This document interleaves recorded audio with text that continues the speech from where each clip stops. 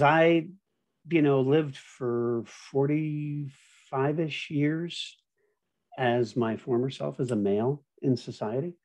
Um, you know, so a lot of people ask me as a trans person who's come out later in life, uh, which is pretty much the storyline for trans people of my generation uh, as a late baby boomer.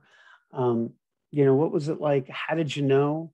And um, you know, it, it's really hard to put in the words, but this quote does. Um, so if you're like wondering, well, you know, how do you reach the breaking point? I mean, what does it look like, and how, how does it feel? And this really encapsulates that. And the day came when the risk to remain tight in the bud was more painful than the risk it took to blossom. And that was pretty much it.